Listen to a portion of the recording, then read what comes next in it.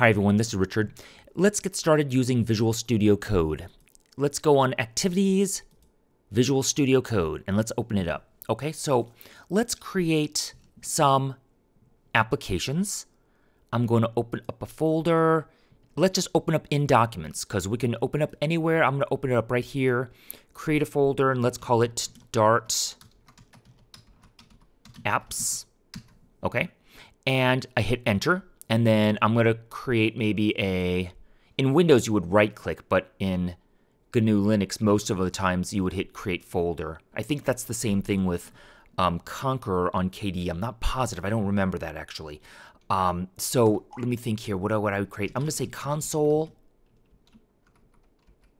simple as a web as, as a um, Dart application. It's going to be my first one on this Visual Studio Code and I'm going to say, if I click right here, right here, debug, and then I'm to click right here, debug console. Here, I'm going to click on the terminal. So the terminal is the same thing as the terminal right here, but it's a lot more convenient, isn't it? So just to have it right here, that's really cool.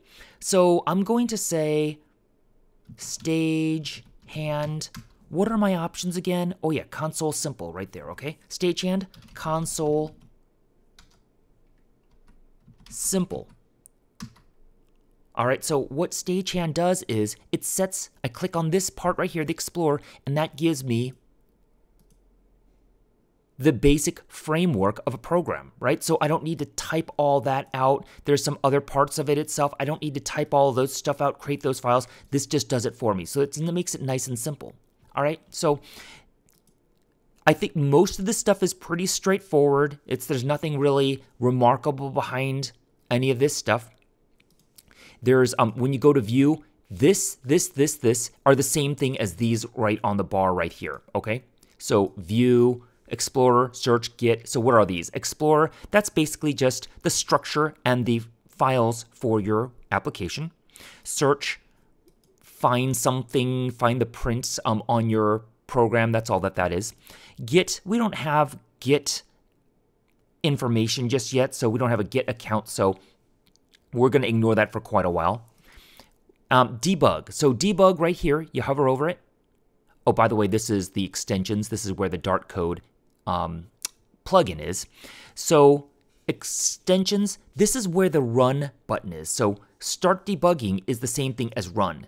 You click on it, Dart command line, and then it sets it up.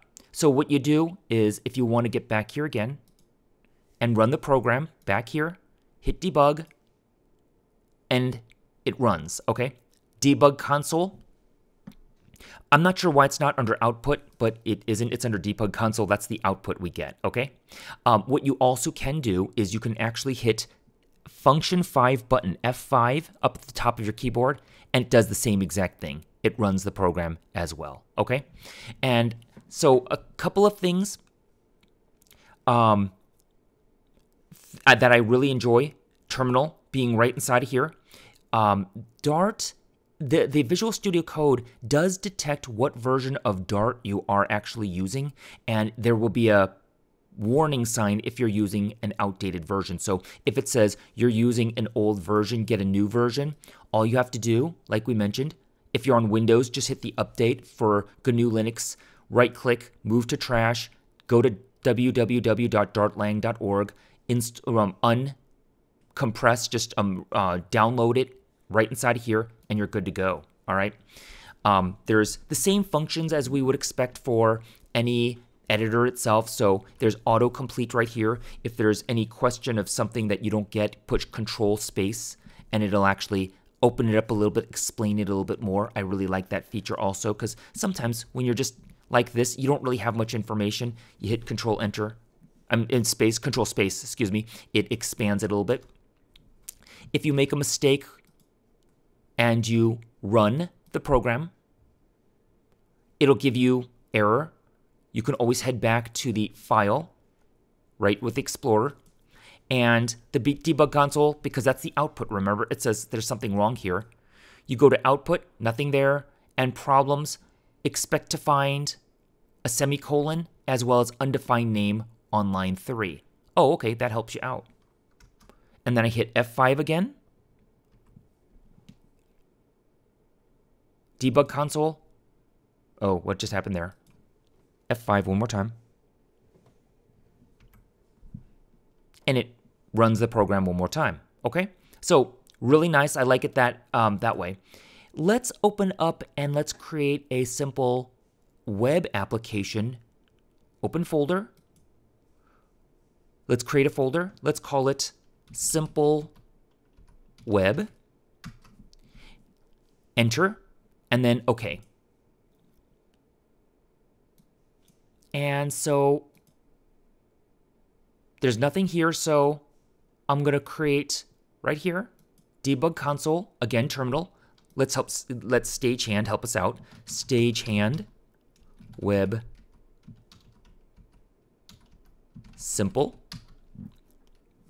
And it creates it all. So if you come here, all of these things, the index, all this, if you don't know what we're doing right here, don't worry about it. I'm just showing that that's what Stagehand does. It creates all of these things for you, these files that you don't have to manually create by yourself. All right. Um, then it says to provision required packages, run pub get. Do you remember when we said pub global activate stage hand. Remember when we did that? What pub actually is, that's the package manager. A package manager basically is a way of getting all of your, getting a bunch of different applications or small programs and making it a part of your program. For example, like say for example, I'm going to make a cake from scratch. I don't really make a cake from scratch meaning I don't grow the wheat grind it down, turn it into flour, right? I just go to the store and I buy the flour because somebody already did that for me, packaged it, and now I can go out and buy it and then and skip that step, right? So that's one of those things that's done for me. Well, what if I, I had to make a really complicated web application, but because it's complicated, there are some things that somebody may have already done. Like some parts of the program, they may have already made that I could just incorporate, I could just use it into my own system, right? So I don't have to create it all by hand all over again. That's pretty cool. But if somebody somewhere in the world created a little package or a little a program that I can use for in my system, I'd have to search the whole internet for that. Okay, so what we have in Pub Package Manager is a standardized way, a straightforward way to save all, where people can make these packages, make these programs, send it to a central area. And then just by using the Pub Package Manager, it grabs these programs that we need as we need them. And so we don't have to go searching around for them. It's very, very handy. So the Pub Package Manager does a couple of things. Not only does it do pub get, so by saying pub get, it actually gets these, downloads them from the internet, and brings it into our program. We have this file called pubspec.yaml. This was created by Stagehand. This actually is just a description of the name, the version, um, the, any dependencies. Dependencies, dev dependencies. Dependencies basically are those small packages, right, that your program absolutely needs to work. So in the cake example, flour. If you don't have flour, you don't have a cake. At least I don't think so. Um, so that's one of the dependencies you absolutely have to have. So this is kind of a list of small programs that you have to have in your browser. I'm sorry, in your application that the package manager gets for you, but you have to display to, to type in this sometimes ahead of time, find out what you actually need. And so then the pub will actually get it for you. And you could get pub get right here. Command pub got it, that doesn't always work actually. Um, right click, pub get. That doesn't always work either. So sometimes you have to like restart the program for that to work. Otherwise, you'll just have to type pub get right here. And that works every single time that I've tested it. Okay, this doesn't always work when you click that button. All right, um, other things to keep in mind. When you have a web program, you can't actually hit the debug. This does not actually work for a web program. So anytime you have a program that has index.html, styles.css, that's a web application. You can't actually yet hit this button right here. What you can actually do is go with pub serve and just type that in.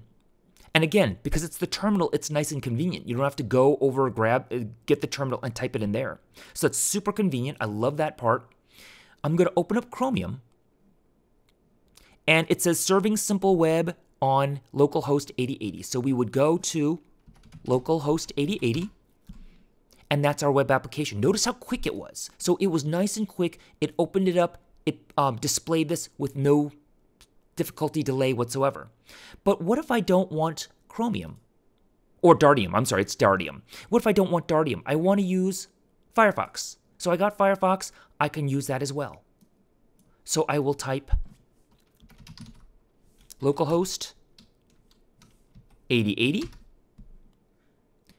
compiling simple web it's going to take a couple of seconds but it does the same exact thing so another real bonus behind Visual Studio Code is you don't need to use Dartium. You can if you want to for speed purposes, but you don't actually have to. And that I think is really, really nice.